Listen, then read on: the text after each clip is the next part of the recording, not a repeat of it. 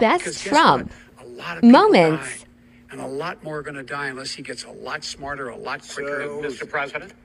Did you use the word smart? Uh, so you said you went to Delaware State, but you forgot the name of your college. you didn't go to Delaware State. You graduated either the lowest or almost the lowest in your class. Don't ever use the word smart with me. Don't ever use that word. Oh, give me a break. Because you know what? Uh, There's nothing smart about you, Joe.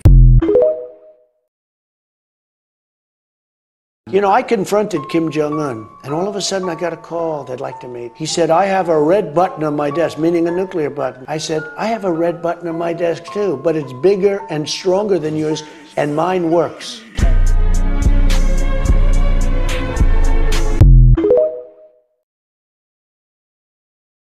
Why does that matter? Why is this a global competition to you if every day Americans are still losing their lives and we're still seeing more cases every day? Well, they're losing their lives everywhere in the world, and maybe that's a question you should ask China.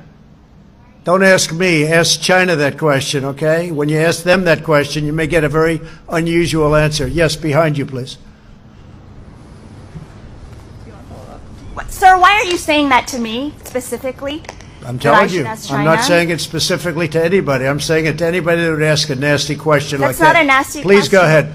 Why does it matter? when- Okay, uh, anybody else? Please, go ahead in the back, please. I have, I have two No, it's okay. But We'll you go over pointed here. to me. I have two questions, Mr. Next, President. next, please. But you did. You called on me. I did, and you didn't respond, and now I'm calling on Sorry, I just the wanted young to, lady in the back, please. I just wanted to let my colleague finish. Okay. But can I ask you a Ladies and question, gentlemen, please? thank you very much. Appreciate it. You told me in a previous interview that you told the leader of the Taliban that in no uncertain terms you would obliterate him if he dared not to follow every dotted I, cross T, comma, period. Abdul, I did, I did. Had a And- conversation, had a number of conversations. didn't you at one point tell him, I know exactly where you are, and give him the exact coordinates where he was? No, I sent him a picture of his house. He said, but why, but why do you send me a picture of my house? I said, you'll have to figure that one out. I said, if you do anything, we're going to hit you harder than any country has ever been hit. He said, I understand, Your Excellency. And he called me Your Excellency. I don't know if he calls Biden, but I will tell you this. We didn't lose one soldier in 18 months. And by the way, Biden got up and made a speech and he said,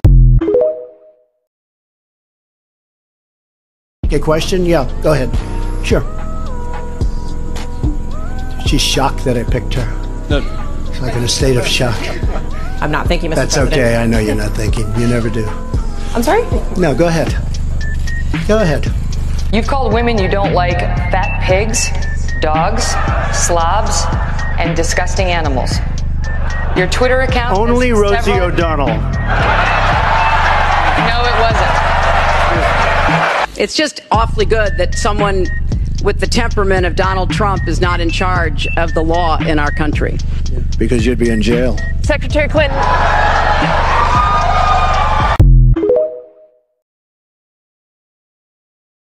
You know, I had a beautiful life before I did this.